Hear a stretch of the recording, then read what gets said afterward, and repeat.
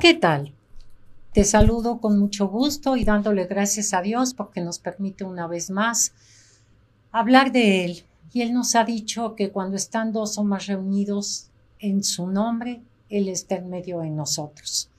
Y por eso, a través de estas redes y agradeciendo a todos aquellos que lo hacen posible, estamos unidos. Demos gracias a Dios y pidamos por todos los que nos permiten unirnos en esta comunidad de Nuestra Señora del Camino, pidiéndole al Espíritu Santo su luz y su gracia y su ayuda para poder entrar en este misterio de la Eucaristía, de nuestro encuentro con Jesús Eucaristía, pues seguros de que el Espíritu Santo nos ilumina, nos atrevemos por eso a, a venir aquí, a estar juntos. Y también como siempre, pedirle a María Santísima, nuestra Madre, su presencia y compañía, su guía y su apoyo, y que tomados de la mano de María, mujer eucarística, podamos entonces hablar de este misterio de amor, de este don de Jesús y de esta presencia real de Él en la Eucaristía. Pues ahora estamos nosotros en nuestra cuarta reunión en torno a este tema. Y hemos recorrido la comida de Jesús con los pecadores, el servicio de Jesús en la última cena, la cena pascual de Jesús y la última cena. Y hemos comentado mucho de sus palabras, de sus gestos, o más bien diría poco, ¿eh? porque realmente no hay, no hay tiempo suficiente para poder hacer el comentario que debiéramos, ni el conocimiento tan profundo pero diríamos que nos estamos asomando en este misterio. Pues fíjate que las comidas de los discípulos con el resucitado tienen un lugar muy especial para que podamos entender todo este contexto de lo que es el misterio de la Eucaristía. Tú y yo hemos oído muchísimas veces los textos que ahorita voy a, comentar y a estar contigo. Sin embargo, quizá no los habíamos aplicado o apreciado en el sentido de la confirmación de la presencia real de Jesús en la Eucaristía. Tenemos que contemplar las comidas de los discípulos con el resucitado de una manera en que también Cristo en su resurrección está presente para poder confirmar en aquellos que lo que él hizo en la fracción del pan y cuando dijo este es mi cuerpo, es, es una realidad presente, dado que los discípulos, los apóstoles, habían huido la noche de la pasión por miedo. La vida, la muerte de Jesús podrían en la mente de los discípulos tener muchos recuerdos, fíjate, vida y muerte.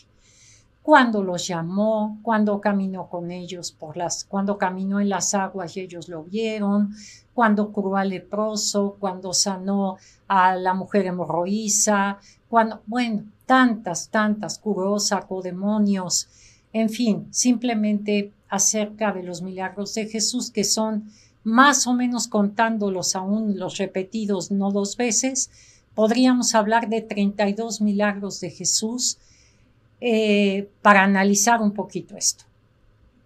Milagros sobre la vida, sobre la muerte y sobre la naturaleza. Eso lo podían recordar los apóstoles, los discípulos, sí, en esa memoria que decíamos. Pero cuando viene la resurrección, y Cristo se les va a aparecer, es la resurrección la que es la generadora de la presencia de Cristo en la Eucaristía para ellos.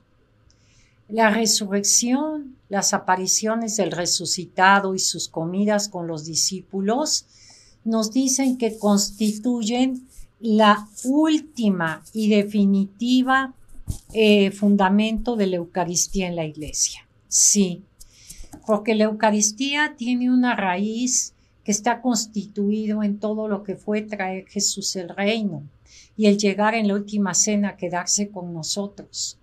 Pero el origen de las comidas de Jesús con los discípulos va a ser todavía un paso más cuando está resucitado. el hecho de las primeras apariciones hayan tenido, eh, podríamos decir, lugar en el contexto de una comida es muy significativo. Esa comida es comunión, cercanía, lealtad, confidencia. Entonces, Jesús va a aparecerse a los discípulos y va a hacerse presente en la fracción del pan o a prepararles el alimento o a comer con ellos. ¿Dónde podríamos o de dónde tomamos estos datos? Pues mira, en el libro de Hechos ya, ya encontramos que una de las características predominantes de las comidas en la comunidad, esa gente que decía Jesús ha resucitado, estas comunidades les unía el júbilo, eh, la, la exaltación, la exultación como tenemos en Hechos capítulo 2, verso 46. Esta explosión de júbilo no encuentra su razón de ser en un recuerdo de un pasado, que Jesús vivió y murió, sino que encuentra la respuesta en un presente, en una inexplicable presencia nueva y misteriosa, pero viva de Jesús gozoso y resucitado en medio de sus discípulos. Entonces, las comidas de Jesús después de su resurrección también tienen un fin muy especial para nuestra fe y la de las primeras comunidades. Decimos, ¿de dónde surge esa nueva alegría en las primeras comunidades judeocristianas o de los diferentes puntos? Pues va a estar vinculada a la presencia de Jesús resucitado. Si aquellas comidas prepascuales habían sido un anuncio del reino, un anuncio efectivo de perdón, de reconciliación o de sanación, y había sido el traer esa soberanía de Dios en una alegría de poder venir a oír los sordos y caminar los paralíticos, ahora ese regalo de amor gratuito de Dios va a estar otra vez ratificado por Jesús en sus comidas pospascuales. Y ahora va a haber un renovado complemento a todo lo que ya Jesús había sembrado y caminado. ¿Qué espera Jesús de estas comidas? Perdón, ¿qué, qué supera Jesús en estas comidas y qué hace? pues tiene la iniciativa y él que como buen pastor ha venido a recoger a las ovejas perdidas, viene a recoger a los discípulos asustados y miedosos que lo dejaron en la noche de la pasión. Esta Grey se había verdaderamente desgarrado por la muerte del Señor. Entonces, cuando el maestro vuelve a hacer el gesto de la fracción del pan en las comidas, ¿qué es lo que ellos sienten? Entonces, la experiencia de la resurrección se va a convertir en una experiencia de perdón gratuito. El Señor nos está perdonando, nos está invitando a comer con Él, nos está dando de comer. Y entonces Jesús, que al aparecer se les había dicho la paz sea con vosotros, les demuestra que Él ha venido para quedarse con nosotros, que sus palabras de este es mi cuerpo y este es mi sangre, y su promesa de estaré con ustedes hasta el fin del tiempo es una realidad, y que todo lo que Él ha hecho antes acogiendo a los pecadores, lo está haciendo ahora después de resucitado, acogiéndoles a ellos que lo habían olvidado, que habían sido cobardes o que no habían tenido esa luz para reconocer en él que era el Mesías. Ahora ellos son los pecadores acogidos. Eh, ahora el, el resucitado no reprocha, sino abraza. Antes bien, es un gesto magnánimo de perdón y de amor de parte de Jesús. Todo esto va más allá para unir Jesús a sus discípulos, a sus apóstoles, en una renovada y experiencia, en una experiencia renovada de comunión. comunión restablecida en la reconciliación, acogida por parte del Señor resucitado y que va a dar el júbilo desbordante a aquellos que lo reciben. ¿Cómo se sentirían Pedro que lo negó? O los demás, como podemos nombrar a Tomás, a Andrés, a Santiago el Mayor, a Santiago el Menor, que no nos lo nombran en los evangelios camino al Gólgota, ni nos lo nombran al pie de la cruz. ¿Qué sentirían ahora de ver que aquel Cristo al que ellos no entregaron, pero no defendieron, está ante ellos, acogiéndoles, perdonándoles y volviendo a comer con ellos? ¿Qué, qué sentimiento de gratuidad que Jesús está anteponiendo su misericordia al juicio y está reservando gracia porque con amor eterno nos ha amado. Eso es algo muy grande en las comidas del resucitado. Ahora, en este caminar vamos a encontrar, eh, voy a tomar comidas muy significativas para analizar contigo. Hubo apariciones, nos dice por ejemplo la primera de Corintios capítulo 5 verso 6, que se apareció a más de 500. Qué bueno, lo vieron muchísimos. Pero yo te voy a invitar a que leamos, reflexionemos el capítulo 24 del Evangelio de San Lucas. ¿Lo has oído tantas veces? Es los caminantes de Maus. ¿Qué pasa con estos caminantes? Mira, es algo tan grande lo que pasa, porque el relato de Maús trata de enseñarnos a nosotros los creyentes cómo llegar a la fe del resucitado a través de un camino. Iban caminando. A través de una enseñanza y a través de lo que es encontrar en la palabra lo que Dios nos está hablando para recibirlo y confirmarlo en la fracción del pan. El alcance espiritual de la trayectoria de los caminantes de Maús es verdaderamente una enseñanza.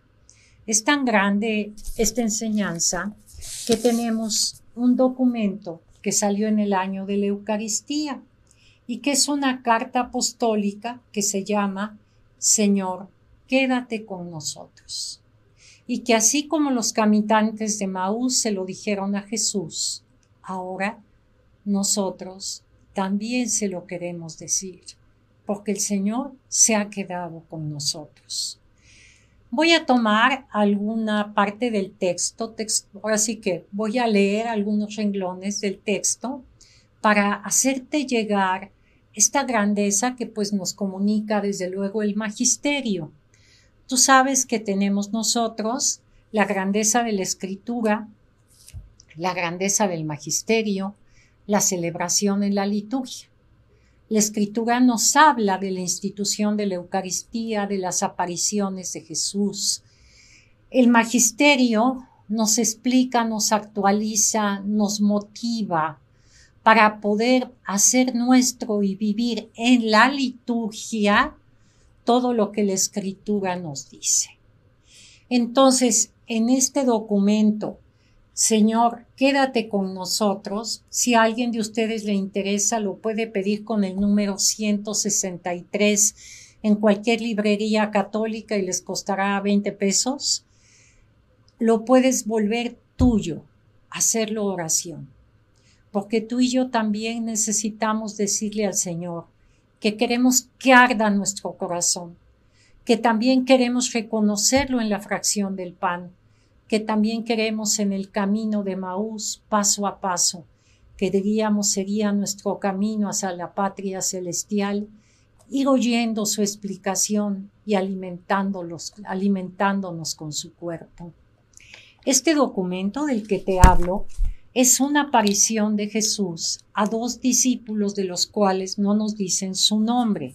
El relato va a empezar en Lucas 24 en el verso 13.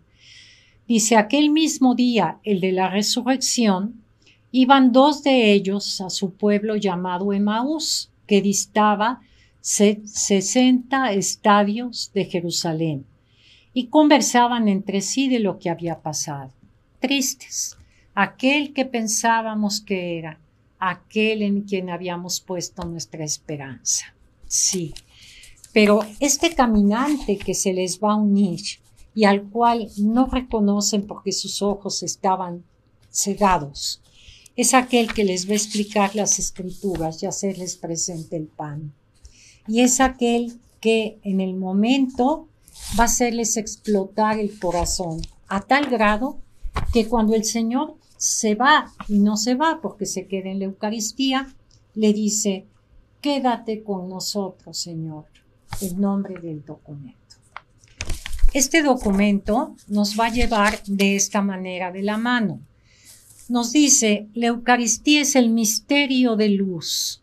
¿Por qué? Porque lo que Jesús iba explicando de las escrituras de que el Mesías tenía que padecer y morir, está hablándoles lo que se refería a él en la escritura. Les está dando luz para entender lo que estaba anunciado como ahora tiene realidad en él. Y por eso, ¿en qué sentido se puede decir que implica para la espiritualidad y la vida cristiana el que sea misterio de luz Jesús? Bueno, Jesús en el Evangelio capítulo 8 de Juan, en el verso 12, dice, yo soy la luz del mundo. Y esta característica resulta evidente en ciertos momentos de su vida. La transfiguración, la resurrección, Cristo en el sacramento eucarístico. Entonces, ¿a quién vamos a acudir? Podríamos decir, a Él que tiene palabras de vida eterna, como, San Pedro le confiesa en el Evangelio de Juan en el 668. Los discípulos de Maús, Cristo mismo les va enseñando y comienza por Moisés y sigue por los profetas para llevarlos al misterio de su persona. ¿Qué más quisiera yo que tanto tú como yo conociéramos la escritura un poco y pudiéramos dejarnos envolver por esta riqueza? tantas profecías, tantos anuncios, tantos acercamientos, tanto decirnos el Señor que toca nuestra puerta desde el Antiguo Testamento para que cuando llegue Jesús lo reconozcamos. Muchos ciegos no lo reconocieron cuando Jesús vivía y murió y resucitó. Ahora lo reconocemos. Ahora sigue tocando a nuestra puerta, sigue caminando con nosotros pero lo dejamos, de, lo escuchamos para que arda nuestro corazón de alguna manera. Nos dice este documento que este misterio de la Eucaristía, gran misterio, debe de ser bien celebrado, debe de celebrarse, de adorarse y de contemplarlo. Y también nos habla de la, de la adoración eucarística fuera de la misa. Que sabes qué? Esto que tenemos aquí en nuestra parroquia, de tener al Señor todos los días esperándonos ahí en el estacionamiento, es un regalo, pero también una responsabilidad.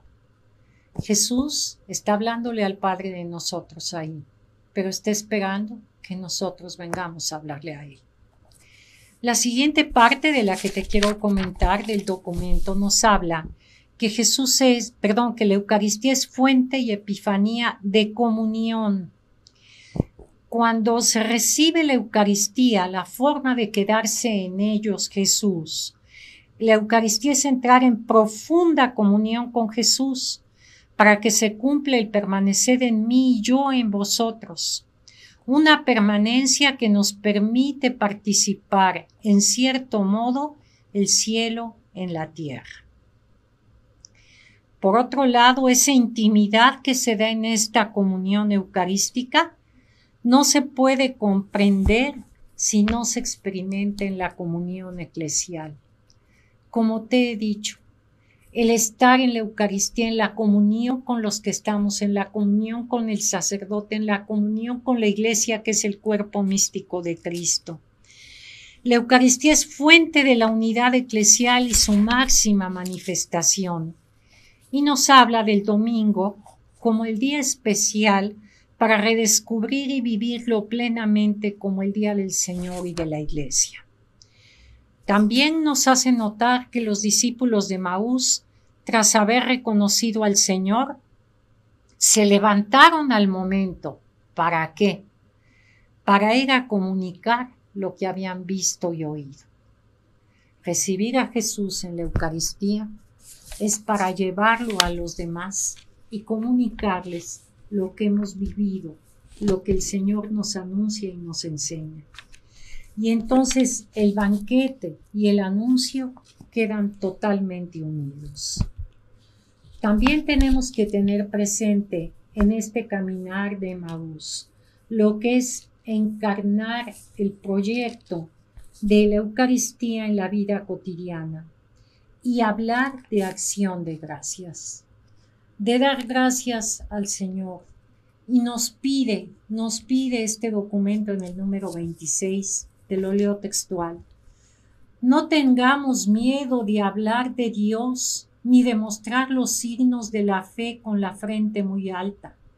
La cultura de la Eucaristía promueve el diálogo y en ella encuentra su fuerza y, su alimento.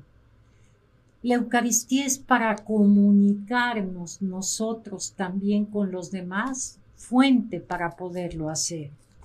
Al servicio de los demás, caminar con Jesús. En la Eucaristía Jesús se ha hecho remedio de inmortalidad le dice el Papa aquí en la parte final, dice, en la Eucaristía te has hecho remedio de inmortalidad. Danos el gusto de una vida plena que nos ayude a caminar sobre esta tierra como peregrinos seguros y alegres, mirando siempre hacia la meta de la vida sin fin. Quédate con nosotros, Señor. Ahora, estas son eh, palabras de su santidad Juan Pablo II y este quédate con nosotros, Señor, es el texto de Lucas 24. La escritura hace que los, a la hora de que le explica a Jesús, les arde el corazón. Y cuando Jesús va a partir el pan, lo reconocen en la fracción del pan. Bueno, esta es una aparición.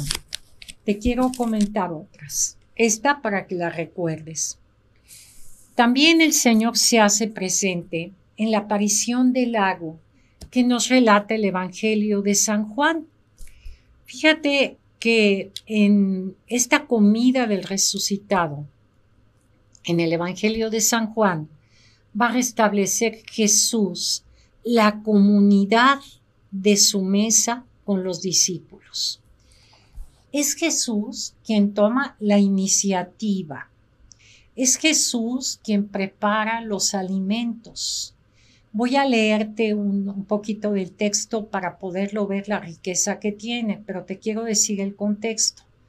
Es Jesús quien toma la iniciativa, es Jesús quien prepara los alimentos. Pan y unos peces. No se dice la procedencia de los peces, no, no se revela. Pero los peces no proceden de la pesca de los discípulos. Todo esto de la comida parece un don preparado por el resucitado. No se trata de un simple convite para saciar el hambre, no. Juan se sirve del relato de la multiplicación de los panes para ahora como entonces escribir y transmitirnos. Jesús tomó el pan y se los dio, de igual modo el pez, que subraya el sentido eucarístico y los discípulos van a tomar este pan y esto y este pez preparado por Jesús. Pero mira, ¿qué van a volver a sentir los discípulos ahí? Esa sensación de estar ante el resucitado. Está Jesús y a la vez no está, porque su cuerpo no es exactamente igual al que habían conocido, pero es el mismo.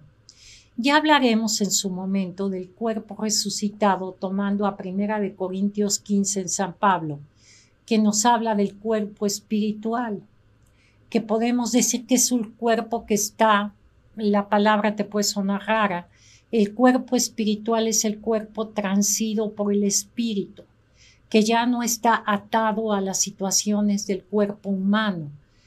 Pero en Jesús resucitado no lo reconocen si no les abre Jesús los ojos. Pero a la vez, al igual que en Emaús, es ahora en la comunidad de mesa con el Señor que supera la ambigüedad de su cercanía y de su presencia y se esclarece por fin su situación. Ahora, voy a leerte qué nos dice un poquito para que entendamos la grandeza en esta aparición del fin que tenía Jesús. En Emaús nos queda muy claro que en esta, en esta comida quiso enseñarnos cómo se ha quedado resucitado cuando ya se queda en la fracción del pan. En cuando se aparecía a 500 o comía con los discípulos después de la Pascua, para decir estas comidas traen la gratuidad y el perdón. Pero mira, tenemos nosotros también las aparición, la aparición está en Juan 21 y dice así, te voy a leer parte del texto. Después de esto, se manifestó Jesús otra vez a los discípulos a orillas del mar de Tiberíades. Y se manifestó de esta manera.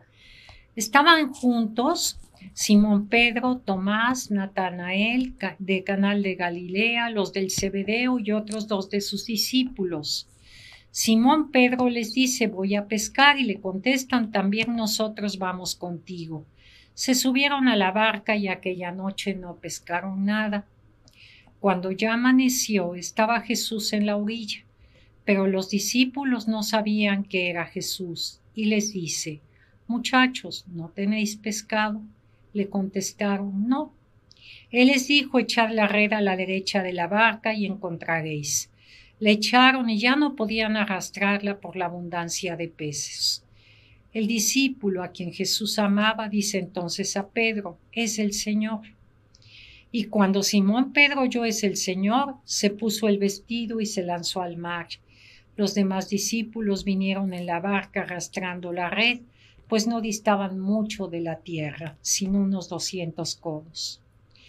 Pero cuando llegaron a la tierra, ven preparadas unas brasas y un pez, no de los que ellos traían, sino uno que Jesús tenía. Unas brasas y un pez y un pan y les dice Jesús, traed algunos peces de los que acaban de pescar. Simón Pedro sacó la red y subió a tierra, llena de peces grandes, ciento cincuenta y tres, y siendo tantos no rompió la red. Pero Jesús les dice, venid y comed. Ninguno de los discípulos se atrevía a preguntarle, ¿quién eres tú? sabiendo que era el Señor. Lo habían visto desde lejos. Pedro se había echado al agua al alcanzarlo cuando vio, cuando supo que era Jesús porque Juan lo reconoció. Llegan y Jesús les tiene el convite preparado. Y viene entonces Jesús, toma el pan y se los da, y de igual modo el pez. Es la tercera vez que Jesús se manifestó a los discípulos después de resucitar de entre los muertos. Pero todavía hay más. Después de haber comido, Jesús le dice a Simón Pedro, Simón de Juan, ¿me amas más que estos? Señor, sabes que te quiero. Se le dice, apacienta mis corderos. Segunda vez, Simón de Juan, ¿me amas? Y le dice él, sí, Señor, tú sabes que te quiero. Y le dice Jesús, apacienta mis ovejas. Y por tercera vez, Simón de Juan, ¿me quieres? Se entristeció Pedro de que le preguntara por tercera vez, ¿me quieres? Y le dijo, Señor, tú lo sabes todo, tú sabes que te quiero. Y Jesús le dice, apacienta mis ovejas. Palabra del Señor. ¿Qué quiero que nos quede de esta lectura? Que Jesús, después de resucitado y nos dice que es la tercera vez que se les aparece a sus discípulos, les viene a dar la gratuidad de su perdón, les viene a traer la paz, los viene a confirmar en su misión. Y a Pedro, que le había dicho, tú eres piedra y sobre ti edificaré mi iglesia, lo viene a confirmar como el que es la cabeza de la iglesia. ¿Que Pedro lo negó? Sí. que el Señor lo perdonó porque Pedro se arrepintió es indudable. Entonces, en esta comida última, post pascual, Jesús está uniendo a los discípulos que antes de la Pascua había llamado, que durante la Pascua había hecho presente el partir el pan para ellos y quedarse en la Eucaristía, que ellos olvidaron esto por el miedo y se fueron, y Jesús los vuelve a unir, y los vuelve a unir en una comida, en un partir el pan, en un hacerse presente. Entonces, podríamos hablar de algunas otras apariciones, pero la vinculación de las apariciones de Cristo con la conformación de la comunidad es innegable. Y hay una secuencia, una secuencia que quiero que no se nos olvide y que tiene lugar en estos textos. Es ver, comer y creer. Ven al Señor resucitado. Comen con Él y viene el creer. El creer en todo lo que era imposible, que el muerto había resucitado, que el crucificado era el Mesías, que aquel que había muerto como un maldito en la cruz es el Hijo de Dios que se entregó voluntariamente por nosotros. Entonces, la Eucaristía vemos cómo juega un papel indudable en lo que es el proceso de la vida de confianza, de la vida de la aceptación definitiva de la fe, y cómo en la resurrección viene Jesús a confirmarnos a través de estas apariciones el deseo, la voluntad de quedarse con nosotros.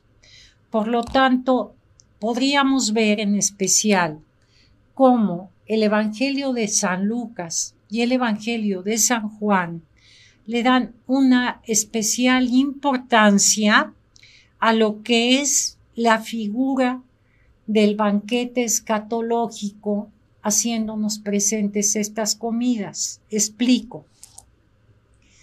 Comidas de Jesús con los pecadores en su vida pública comida de Jesús en la cena pascual, institución de la Eucaristía, comidas de Jesús después de la resurrección, confirmando que Él es aquel que como puente ha venido a unir al hombre aquí terreno con lo que es su camino hacia la eternidad. Y entonces nosotros, aplicándonos estos relatos, podemos sentirnos como un caminante de Maús y leer el capítulo 24 de Lucas y también decir, Señor, he estado triste, he dudado, me ha faltado fe, no he comprendido tu entrega, no valoro tu presencia, pero quiero que arda mi corazón, háblame. Quiero tomar la escritura y oír en la escritura tu palabra.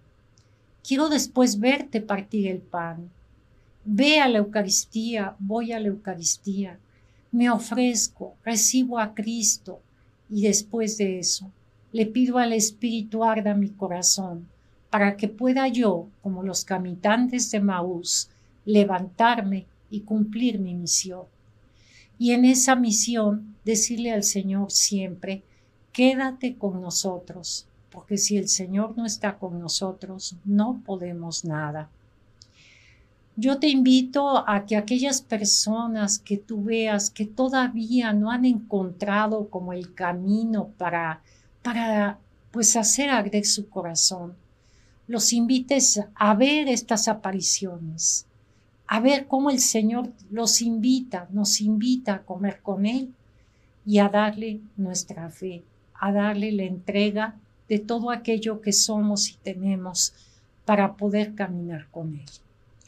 Desde luego, la palabra del Señor es nuestra guía, el magisterio de la iglesia pues nos lleva definitivamente. Mira, eh, quiero terminar con esto para que veas por qué es tan importante la escritura, el magisterio y la liturgia unidos. El Jesús terreno, cuando vemos la escritura, comparte la mesa y demuestra el cuidado que Dios tiene por los desvalidos y nos trae la imagen del banquete escatológico.